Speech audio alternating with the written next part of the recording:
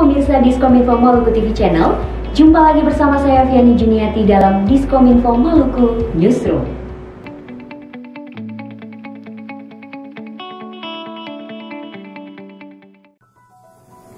Pemirsa, mengawali informasi pertama, Polsek Nusaniwe gelar doa bersama sikapi kerawanan gangguan Kamtipmas. Untuk mengantisipasi potensi konflik sosial yang sering terjadi di tengah masyarakat, maka Polsek Nusaniwe menggelar doa bersama yang turut melibatkan tokoh agama, tokoh masyarakat, Babin Kamtipmas, personel Polsek Nusaniwe, unsur TNI, beserta unsur terkait lainnya yang bertempat di Mako Polsek Nusaniwe, Kota Ambon pada Rabu 23 Februari 2022.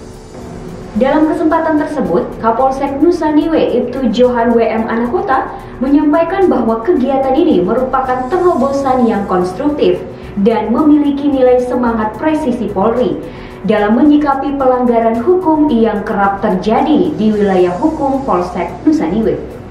Pemirsa, Lantamal 9 dan Binda Maluku gelar vaksinasi di Pelabuhan Feri Galala Ambon. Menindaklanjuti perintah Panglima Tentara Nasional Indonesia, Jenderal TNI Andika Perkasa, pada rapat yang dilaksanakan secara daring pada Rabu 23 Februari 2022 dengan topik pembahasan pencapaian vaksinasi di fasilitas kesehatan TNI, maka Lantamal 9 Ambon berkolaborasi dengan Badan Intelijen Negara Daerah Maluku menggelar serbuan vaksinasi COVID-19 di Pelabuhan Umum Feri Galala, Sirimau, Kota Ambon, Kamis 24 Februari 2022 dengan mengerahkan dua tim vaksinator dari Dinas Kesehatan Lamtamal 9 dan Rumkital Dr. FX Suharjo, pelaksanaan vaksinasi menargetkan 150 dosis dengan menggunakan vaksin jenis Pfizer untuk suntikan booster dan Sinovac untuk suntikan kedua. Informasi lainnya pemirsa, nelayan hilang di Pulau Haruku akhirnya ditemukan. Dalam pers rilis kantor SAR Ambon disampaikan bahwa tim SAR gabungan mendapati informasi pada Kamis 24 Februari 2022 sekitar pukul 9 pagi dari Sekretaris Desa Rohmoni bahwa korban atas nama Haji Guru Sangaji telah ditemukan oleh masyarakat setempat sekitar pukul 8 lebih 30 menit waktu Indonesia bagian timur dalam keadaan terapung dan meninggal dunia di sekitar perairan Waruputi, Kabau, Kabupaten Maluku Tengah. Korban akhirnya berhasil dievakuasi oleh masyarakat dan petugas Polsek Pulau Haruku. Selanjutnya, korban dibawa menuju rumah duka guna diserahkan kepada pihak keluarga. Dengan ditemukannya korban, maka operasi SAR resmi ditutup dan seluruh unsur potensi SAR dikembalikan ke satuannya masing-masing. Selanjutnya, kasus terkonfirmasi COVID-19 di kota Ambon terus mengalami tren penurunan yang baik. Tingkat kesembuhan pasien terkonfirmasi COVID-19 di kota Ambon terus mengalami tren penurunan yang baik setelah beberapa waktu yang lalu terjadi peningkatan kasus.